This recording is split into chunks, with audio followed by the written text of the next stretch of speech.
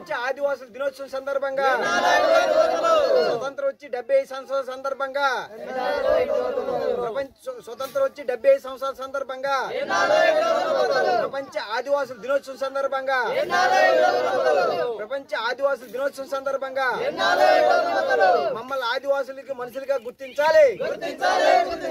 ఆదివాసీ గిరిజన గ్రామాలకు రోడ్లు వేయాలి.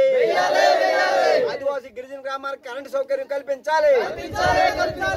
ముందు ఆదివాసీ గిరిజన గ్రామాలకి స్కూల్ ఏర్పాటు చేయాలి.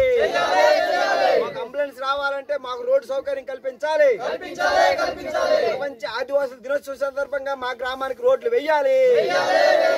డెబ్బై ఐదు సంవత్సరాల స్వతంత్ర సందర్భంగా ఆదివాసీ గిరిజన గ్రామం అయిన మా గ్రామాలకు రోడ్లు వేయాలి. ప్రపంచ ఆదివాసుల దినోత్సవం సందర్భంగా మా గ్రామ ప్రపంచ ఆదివాసుల దినోత్సవం సందర్భంగా మాకు కనీసమైనటువంటి రోడ్డు కల్పించండి. మాకు ఎన్నాళ్ళు ఈరోజు డోలు మూతలు ఎన్నాళ్ళు మా ఈ చీకట బతుకులు అని చెప్పేసి కోరుతూ వినూతనంగా ఇప్పటికైనా సరే పాలకలకి కనువిప్పు కలిగేటట్టుగా మాకు రోడ్డు వేయాలని చెప్పేసి మేము ఆదివాసీ అది ఆంధ్రప్రదేశ్ గిరిజన సంఘం ఐదో షెడ్యూల్ సాధన కమిటీ తరఫున డిమాండ్ చేస్తున్నాం. ఈరోజు మా ప్రాంతాల్లో అడవిలో క్రూరమైన జంతువుల మధ్య చీకటి వేళలో నివసిస్తున్నటువంటి ఆదివాసీ గిరిజనులకి నేటికి డెబ్బై ఐదు సంవత్సరాల స్వతంత్రం వచ్చినా ఈరోజు విద్యుత్ వెలిగి లేని పరిస్థితిలో ఈరోజు పసులుబంద జిల్లాలో గ్రామం ఉంది.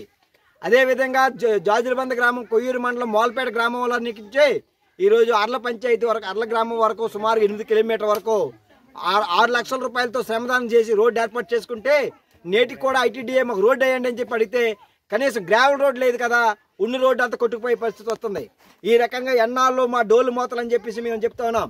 మరోవైపు దేశంలో అత్యున్నతమైనటువంటి ఉన్నటువంటి పదవులు ఉన్నటువంటి గౌరవనీయులైనటువంటి ఆదివాసీ బిడ్డ అయినటువంటి ఆదివాసీ మహిళ ఈరోజు అత్యున్నత రాష్ట్రపతి పదవి అలంకరించుతున్నారు.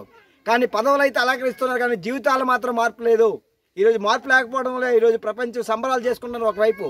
మా బతుకులు మార్చండి అని చెప్పేసి మరి మేము చేస్తున్నాం. ఇప్పటికైనా పాలకులు సుమారు నూట యాభై మంది యాభై మంది పిల్లలు ఉన్నారు. స్కూల్ సదుపాయాలు లేవు. పిత్రికేట జాజులబంద గ్రామానికి ఈరోజు కనీసం ఏంటంటే పిల్లలు చదువుకోవడానికి వెళ్ళాలంటే ఎనిమిది తొమ్మిది కిలోమీటర్ల దూరం వెళ్ళవలసి వస్తుంది. అందుకని పిల్లలందరికీ విద్య అందించాలా వైద్యం అందించాలా ఇటువంటి కనీస సౌకర్యాలు కల్పించాలని చెప్పేసి మేము చెప్తున్నాం.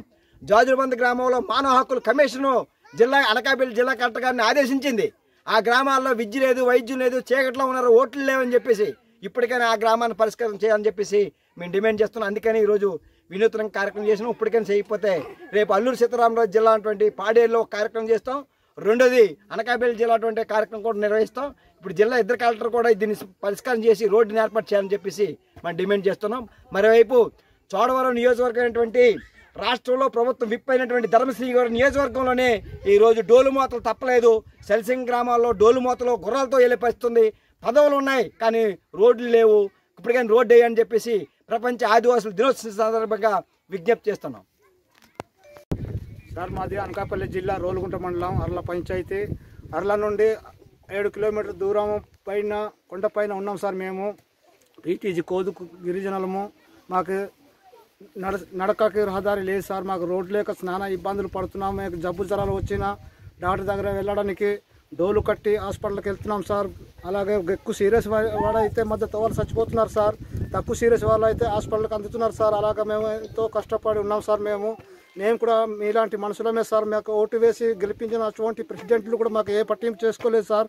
ఏ ఎంపీటీసీలు కూడా పట్టింపు చేసుకోలేదు సార్. ఎవ్వరు కూడా మాకు కో- మా కోదు గిరిజనులకి ఎవరు పట్టింపు చేయకపోతే మేము ఈ కొండల్లో మేము ఇలాగా ఉండి జీవిస్తున్నాం సార్. మేము అనేక బాధలు పడి డోలీలు కట్టి హాస్పిటల్కి తిరగడానికి మేము సచ్చి ఉన్నాం సార్ ఈ కొండ మీద.